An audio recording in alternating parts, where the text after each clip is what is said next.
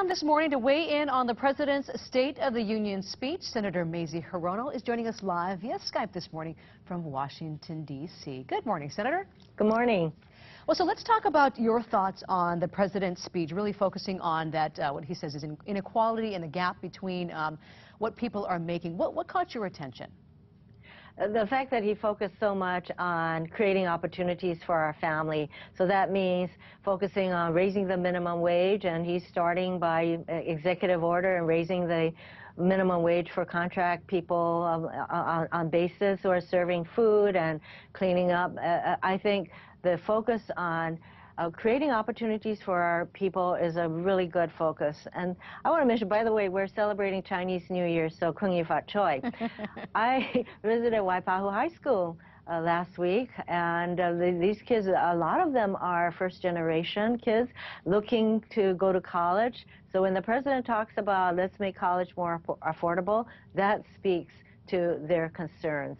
So that's the focus that I really liked about uh, the president's speech. Immigration reform, that not only helps our families, but it's going to create jobs and, and grow our economy. So you've got your, your finger on the pulse up there in Washington, D.C. A lot of people talking about that immigration reform was supposed to have been passed last year, didn't quite happen.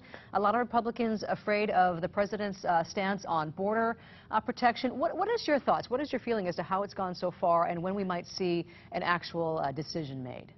I'm hopeful that the House will pass some kind of immigration bill because they're on a retreat today and one of their uh, agenda items is to come up with uh, their framework for immigration reform. So we've seen evidence of bipartisan uh, movement in passing the budget and passing the appropriation bill and most recently the farm bill which has a lot of good stuff for Hawaii.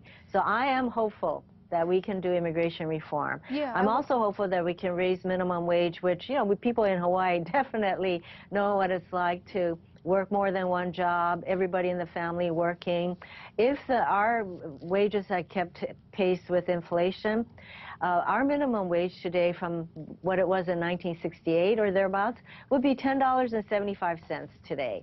So I hope we can get that done. There are a lot of people in our country who support raising the minimum wage yeah. uh, quality early education. A lot Yet of discussion, another, a lot of discussion another, locally yeah, too. Important, yeah, support. So I think um, you know where the country is on the same page with the president on a lot of these uh, areas, but really to focus on let's create opportunities for our people. That's a framework that I support. Well, it is going to be interesting to see what happens with the president mm -hmm. taking that message on the road. Yes. Thank you so much, Senator, Thank for you. joining Aloha. us.